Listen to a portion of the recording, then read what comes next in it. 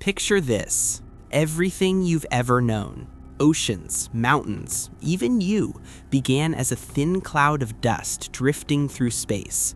No Earth, no sun, just darkness and debris. About 4.6 billion years ago, that cloud started to collapse under its own gravity, spinning faster and flattening into a glowing disk, and at the center, pressure ignited the birth of our sun. Around it, tiny dust grains smashed together, sticking, growing, colliding again and again, turning into rocks, then planet-sized worlds.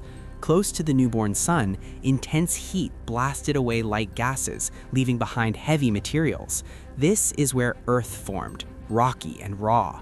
Violent impacts shaped it, including one massive collision that tore material into orbit, eventually forming the moon. Earth was once a molten hellscape, covered in lava oceans, constantly bombarded by space debris. Over time, it cooled. Gases escaped from its interior, water arrived from icy asteroids, and the surface slowly transformed. What began as chaos settled into balance. Gravity organized the mess, motion created order, and from a swirling nebula of dust, a planet capable of life emerged.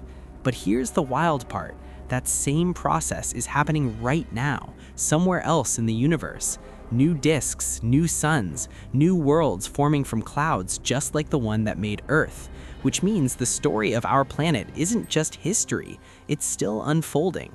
And if Earth began as dust pulled together by gravity, then every atom in you was once part of that spinning cloud too.